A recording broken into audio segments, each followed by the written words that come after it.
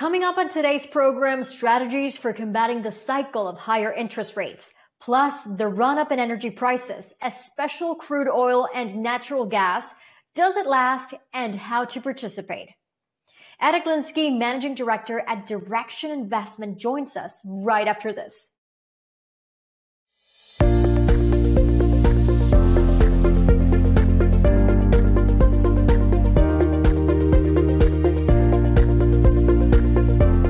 Welcome to the program. I'm Arianne Alcorta with ETF Guide. It's good to see you again. If you're here for the first time, hit the subscribe button to keep on top of our latest original episodes like Spotlight, ETF Battles, and the other shows in our program lineup. We enjoy interacting with our audience, so post your thoughts or questions in the comment section below. We've seen a massive upswing in energy stocks and commodities across the board. We'll tell you about ways to position your portfolio. Plus, we'll examine to hedge your portfolio against rising interest rates and stock market volatility. Here to talk with us about that and more is Ed Egilinsky, Managing Director at Direxion Investments. Ed, welcome to the show. Thanks for having me back. Inflation is running hot, and to cool it off, the Federal Reserve may have to lift interest rates more aggressively than previously thought. And from investment strategy point of view, what can investors do to hedge their portfolios against the threat of higher interest rates? Well, one way certainly is through the commodity markets. Historically, commodities have tended to do well during periods of inflation and higher interest rates. If you look historically, the CPI uh, higher CPI tends to correlate with higher interest rates. Uh, Direxion has a broad commodity strategy, uh, COM, COM, it's the Direxion Auspice Broad Commodity ETF. Uh, it is tracking a rules based index that is tactical in its approach. So, unlike a lot of other broad commodity benchmarks that give you exposure to the commodity space, we are not static 100% long. Based on price trends, we'll be long a commodity showing a favorable price trend, but in cash with the commodity showing a downward price trend. And right now we're long nine out of the possible 12 commodities within the portfolio. So this is a way for investors to participate in the broad commodity markets, capture the majority of the commodity upside, but more importantly, potentially mitigate that downside risk that's often associated with commodities because they can be volatile in nature. Now, energy stocks are the best performing S&P 500 industry sector thus far this year. They've been boosted by rising prices for crude oil and natural gas. Tactical bullish ETFs with leverage like tickers ERX and GUSH have seen impressive gains. Plus, Direxion just added a new oil services Bull 2X fund ticker symbol ONG. So, Ed, what trends are you seeing in the energy sector?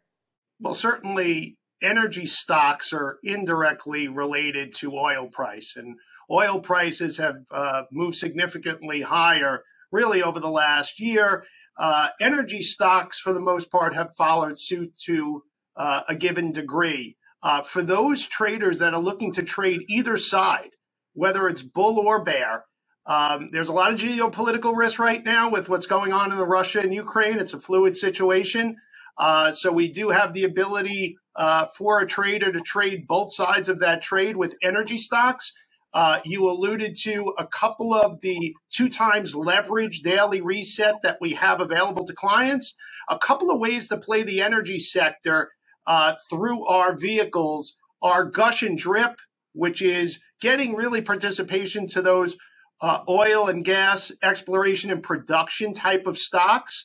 Uh, also, ERX ERY, which is our 2X bull and bear, uh, that gives you exposure to the energy select sector uh, index, uh, which is basically looking at those bigger integrated companies such as Chevron and Mobil. And then lastly, what you alluded to, our most recent addition to the energy stock suite is ONG, and that's the oil services area. We just have a bull product for that.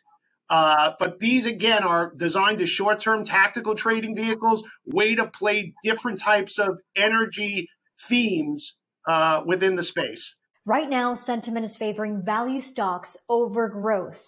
In fact, Direxion has a pair of ETFs that allow financial advisors and traders to overweight stocks by styles. RWGV is growth over value, while RWVG is value over growth. How do these two ETFs work? Well, as you said, that's the big uh, debate on Wall Street uh, growth over value, value over growth. Uh, for those advisors and investors that want to express a view, uh, we have two pairs of ETFs that could give you that exposure. So right now, value over growth has been a, a, a better trade, at least in the short term. So RWVG would be something that somebody might want to use. And these are structured as a 150 50 type of ETF, meaning 150% overweight to the Russell 1000 value. And for that uh, part that you want to underweight, short 50%, in this case, the Russell 1000 growth. So you get the net spread within that ETF. So for those individuals that want to overweight, in this case, value over growth, RWVG could be a way to do that. If your trading view is correct, it could give you an enhanced return. Uh, so these are tools that people could use, especially with style boxes. We also have RWGV as well. If somebody feels that growth is going to outperform value, uh, we have the ETF for that as well. And we're using the Russell 1000 index as a value of growth to give you that exposure. One final question before we take off. Uh, stock market volatility has picked up, and some of the inverse performing stocks, ETFs, in Direxion's lineup have been strong year to date performers. How have investors and traders been using inverse ETFs to capitalize on the trend?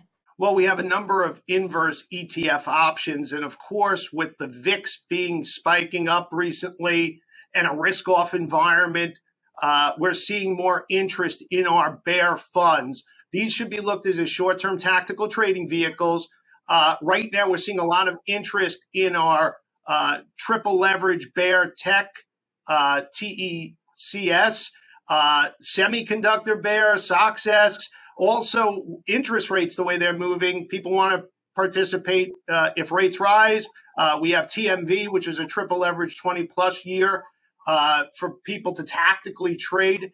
Uh, but when you look at some of the other products in the inverse space that have really started to garner some assets, we have a non-leveraged ETF of the S&P 500 SPDN that a lot of advisors and investors are using for their clients to try and reduce the beta or long exposure of their portfolio or as a directional tactical trade thinking the S&P is going down but maybe they'll hold it a little longer or the potential to because it's a non-leveraged ETF so it may not have the decay or compounding issues that a 2x inverse or 3x inverse would have.